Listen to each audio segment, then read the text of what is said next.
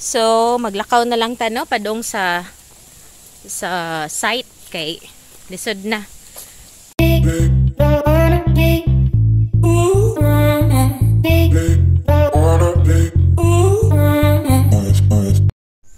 Darren, asa makapadong? Um, magagawin. Mag-drive through. Okay, let's go. Hi, it's 9.05 and we are driving to the next Um, building Dr. Cecilio Potong National High School Senior High Department. That would be in Cabawan. So right now we are near the City Hall and we will check how much time it will take for us to drive to the site.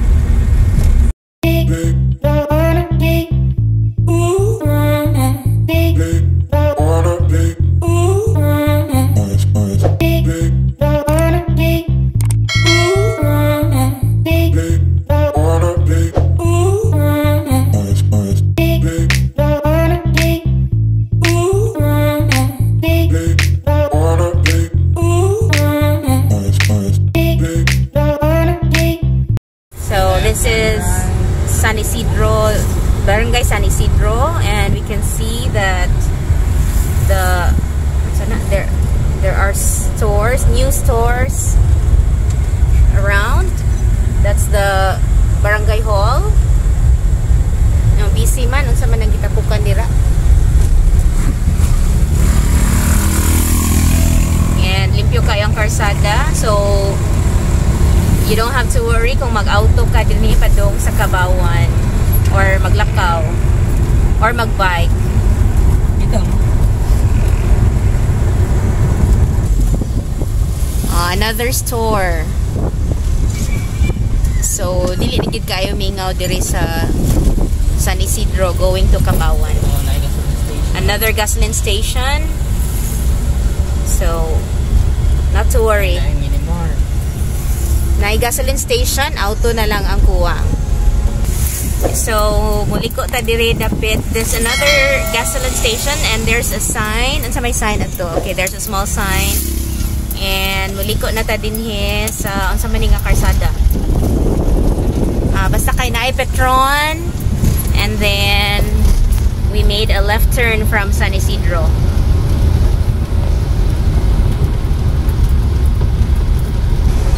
Okay, so from the moment we made a left turn from the gasoline station, so far, um, fairly smooth ang karsada, pero kanini rough na diri dapit.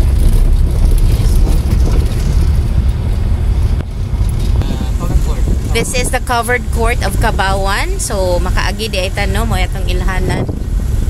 And then, there's a barangay hall, ang simbahan sa Kabawan. Nice sign sa ATI. So, dito ara ang barangay hall sa left. So, di ara ang sign. And then, we make a right turn. Sa Centuries nga kanang kuan. Okay. Ay, nagbuwak. So, turn na ta. Smooth man ang karsada pero gamay. So, 100 meters lang smooth. oh, 100 meters ra ang smooth. May pa ang karsada, smooth.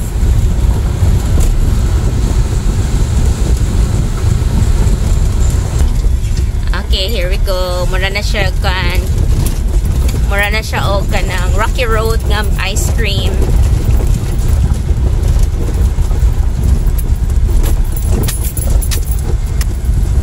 So, what we see ahead of us is sa man ang naik balay. Centuries nga. Ah, si St. Therese nga. Ah, dito lang Karina. Oh, hindi. Kayo. St. Therese nga. ilang. Ang spirit nito. Ah, okay. Sige, ano, Monastery? common is ano, convent. Convent ay. So, niagi ta sa St. Therese na convent. And, so, medyo close to nature din hen. So, kung ani na tamo kuan, maskwela, puhon, in our new campus, this is going to be our daily daily ride. Sunshine po. makita na to ang Sunshine Home. Kailangan mo. Yeah.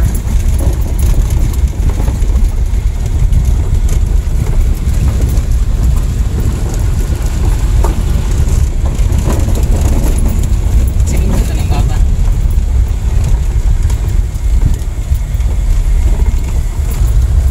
So, isi mura siya og sa man ni housing natay naagian nga murag row houses. Likod ari. Uh, daghan pa kayog lugar sa mga kalibunan. So, reserved for us. Anita diri pagbalay kay medyo layo siya sa kuan sa sa kabihasnan. Uh, daghan diri mga tano, mga plantita, bas hindi ay og na mga kuan dire, mga unknown species nga ikaw rin naka-discover.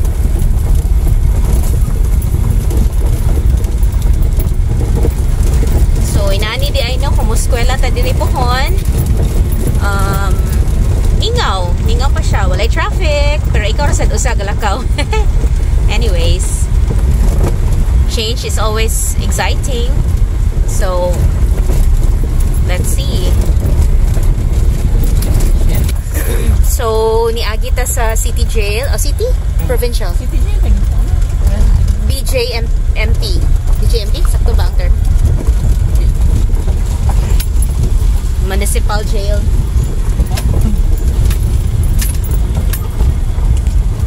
So, gladly it's uh, fair weather. It's a good weather today for this ride. So, thank God because in the past days it's been raining. ATI. Basta. ATI.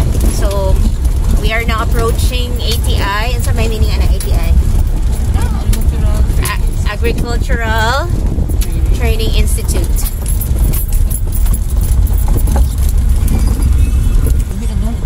So now, maglingi-lingi na tao sa dapit ang campus. Uh, sanat. so mangutana na ta sa atong mga amigog amiga diri mangita sa tagdaw nga galakaw sa karsada kay inana magid na dong Pinoy. Mangutana dayon ta aning gumaptas ani. Wa may tao lagi. Salamat mga gwapo. so may we made a U-turn kay nilapas demi gamay. There's a small esquina from the ATI mo left turn de anang gamay nga. Kasa ito? Kana daw. Pwede?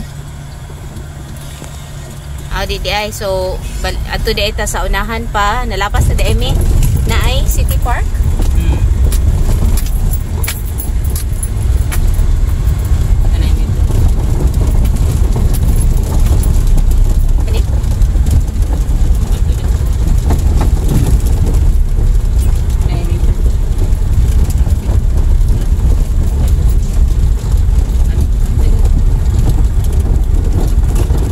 Ah, okay. So, dili pa mo lapas sa kuan.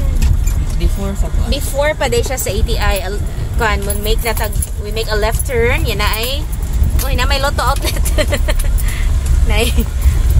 So kani muratag ko ano ni sud ta sa Little Baguio. Uy, ka cute ani uy. So kuan gid siya, single lane. Oh, medyo rocky. So, I think this is it. Ah, one building. Ah, okay. So, doon lagi day siya sa ATI. Oh.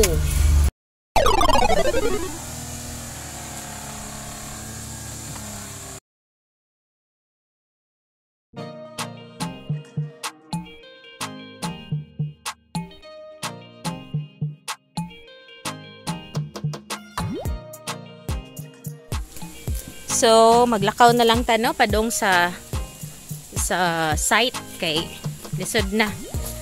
Um, although wala na nag-ulan pero uh, wala pa na dry ang lapok. So, masangad ang sakyanan. Okay ra dire ang magbutor. Okay, so walking na lang ta kay landong nun pod. Ay ro sa putakan. Ana ay werewolf, bitaw ay si ko ana. So, unsa man ni? Na balay sa witch. Na si Hansel and Gretel dire dapita. So actually, kuan ra siya. A short walk from the di po ta kaingog main road no, pero gikan dito sa ATI nga nga site. So, makita na nato no from a from a distance.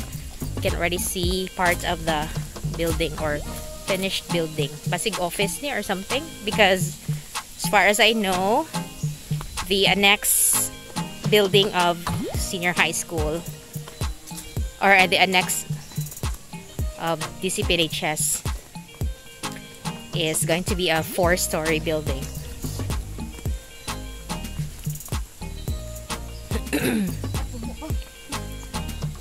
so, ang plantito, nagikap-hikap na sa buwak at saka na yung plano. So, medyo lapok dyan, oh.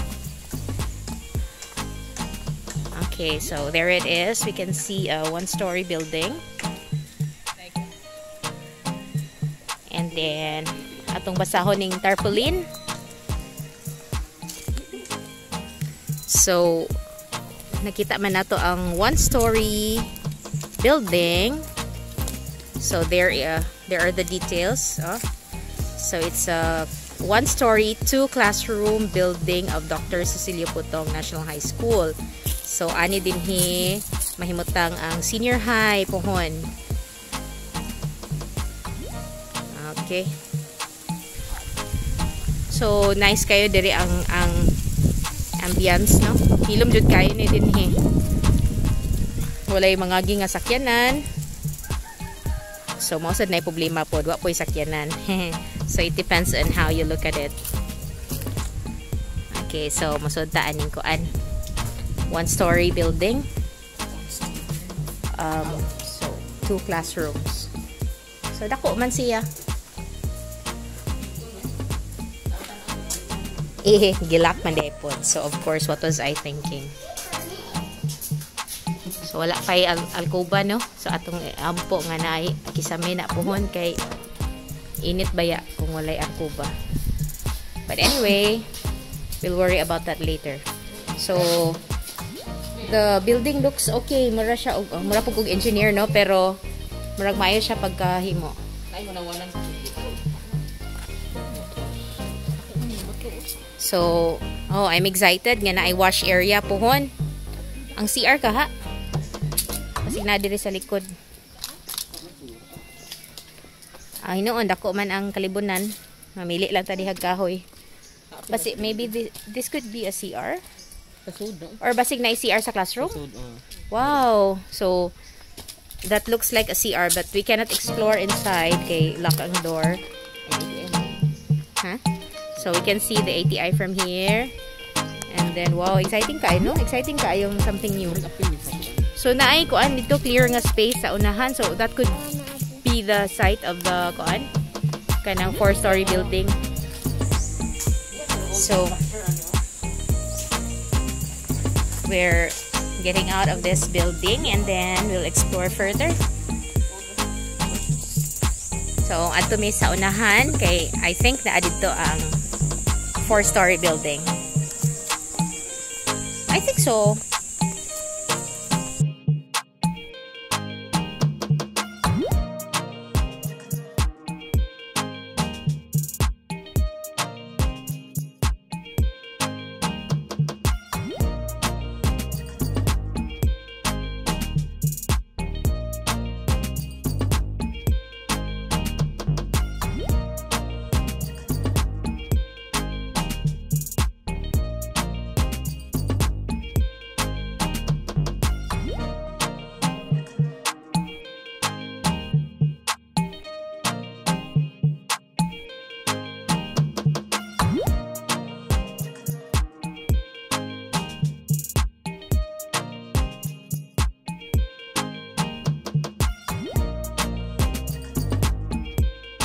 So magkuan sa ta. Let's have our brunch.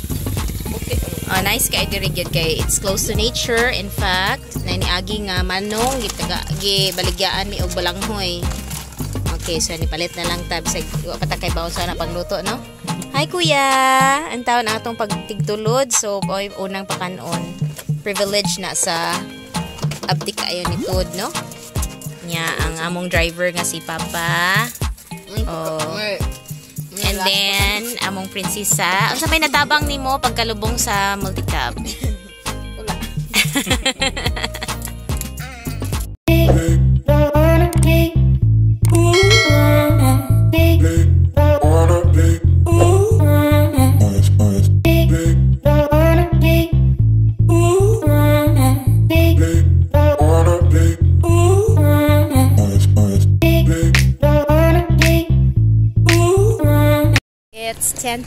and the ocular visit just took us mga 30 minutes or less than that. Kaya nangaon pa man pod ni.